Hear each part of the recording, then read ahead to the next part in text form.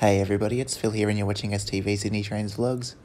Uh, in this video, I'm just going to uh, film one of the Alstom Metropolis sets arrive into Sydney Metro's Tallawong station and just going to do a walkthrough from one end to the other for you guys. So uh, thank you for watching this short video. Uh, don't forget to give Sydney Trains Vlogs a thumbs up and subscribe as well. Uh, cheers for watching. Enjoy.